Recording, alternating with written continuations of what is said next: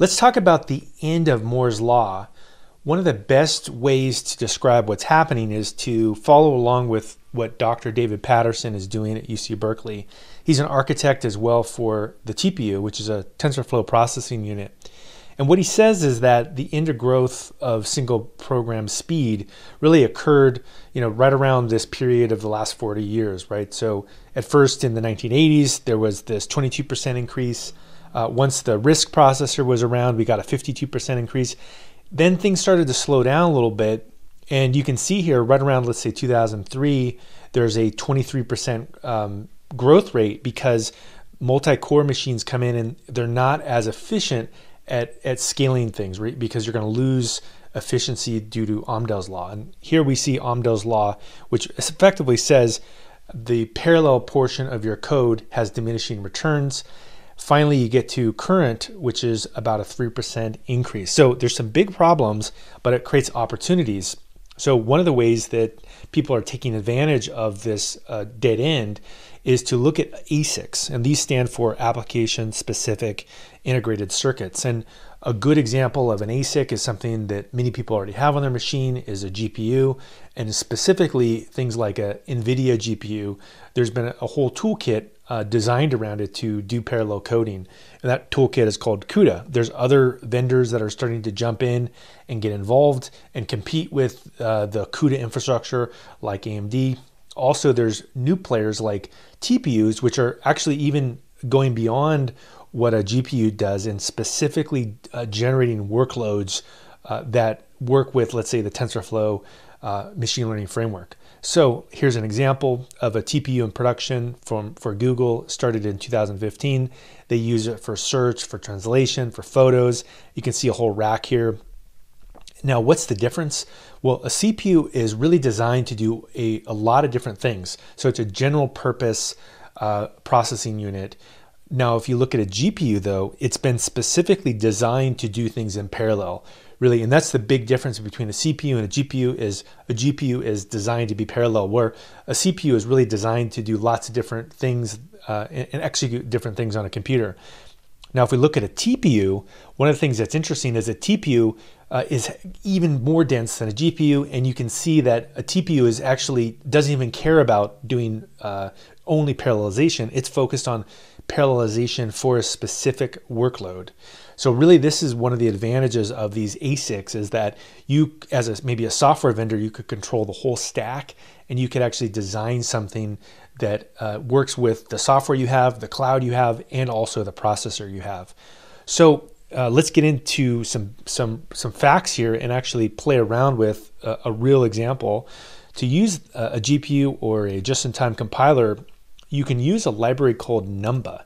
So let's go ahead and take a look at what that uh, is. It's a, a way of programming a, a GPU or just-in-time compiler. Lots of different uh, techniques you can use with Numba, and you can see all the different examples of this. So what we're going to do is we're going to go into Colab Notebook. I'm going to use Colab Pro, and I'm going to uh, turn on a GPU hardware accelerator. And a couple things to point out here is that you'll want to just double check after you install Numba that the um, .so output uh, appears here. So you could recreate exactly what I'm doing without using Numba. But in this example, uh, I'm going to go ahead and open up this Colab notebook and get started. Okay, so I've got this checked in. Uh, I'm going to go ahead and click on this link, open in Colab. And a couple things that I'll do here is first step, I'll check the runtime. This is really important. You also see I'm using the Pro version, so I get a, a fancier GPU. Uh, let's go ahead and select that. Okay, great, that's good. Runtime standard. Hey, why don't we make it high RAM as well? Okay, now that this is set up, uh, I can just uh, click connect and it'll establish a connection to a NVIDIA GPU that I have access to. And you can see here I also have um, something like uh, 25 gigs of RAM. So first up, I'll install Numba, and then I'll double check here that the this uh, SO driver is is available for me, uh, and this will be uh, really the the shared library that I'll need to do CUDA coding later. And CUDA coding really is a way of doing GPU programming for NVIDIA. So we'll give this a second here. It's uh, installing Numba, and then uh, looks like Numba is actually already installed on this machine. And then I also am verifying that I do have two versions of CUDA. I have version 10.0 and I also have version 10.1. So uh, this will take just a second here. Uh, the next thing that I'll do is I'll just import some libraries. So I'll import NumPy. I'll, I'll use some specific imports like the just-in-time compiler, the CUDA library, um, some data types here. Uh, and once I do that, the first thing that I'll play around with is a Mandelbrot. And a Mandelbrot is really a visualization that that uh, is very taxing uh, to compute. And so first what I'm going to do is I'm going to just do it on the CPU. So if I go through here and I say um, some Mandelbrot code here, uh, I then go through and I create a fractal. Let's go, go ahead and run that. And then let's go ahead and, and create it. Now, when we run this, you, you can see it takes a, quite a while, right? It's going to take a, a few seconds. In fact, it takes 4.37 seconds to calculate this really fancy image.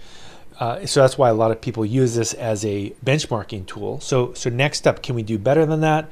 Well, yes, let's go ahead and use the Numba version, which is a, uh, a version that uses a just-in-time compiler. So what this does is it takes our Python code and it turns it into machine code. So it's, it can potentially run you know, uh, much, much faster because it's going to go directly to uh, instruction for a CPU. So let's go through here and run the just-in-time compiler. I'll put a uh, at JIT there.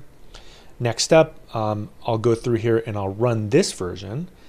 And you can see here it's, it's almost instantaneous, right? It's, it's basically 39, um, 0.39 seconds to actually generate this version. Okay, can we also try the, the GPU out? Yeah, let's go ahead and do that. Let's use the CUDA GPU here.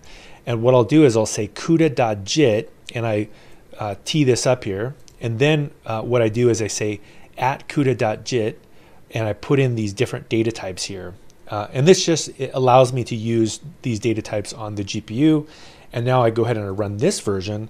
And in fact, look how much faster this is. You can see that it's 0.05 seconds where the, the machine level code, even at the you know assembly level of, of the CPU, it's actually much, much faster. So really a, a GPU is uh, a great way to, to uh, speed up code that is highly parallelizable. So what else can we do? Well, you also can just directly get into the CUDA library and start playing around with code. Now to do this, you have to take your your your code and move it specifically into the GPU, vectorize it, so turn it into a form where it can be highly parallel, and then run the code. So here's an example that's kind of contrived, but uh, what I do is I take a data frame in, in pandas here, and then I convert it to a form that the um, Numba library can, can utilize, and then I return it as an array, and then I vectorize it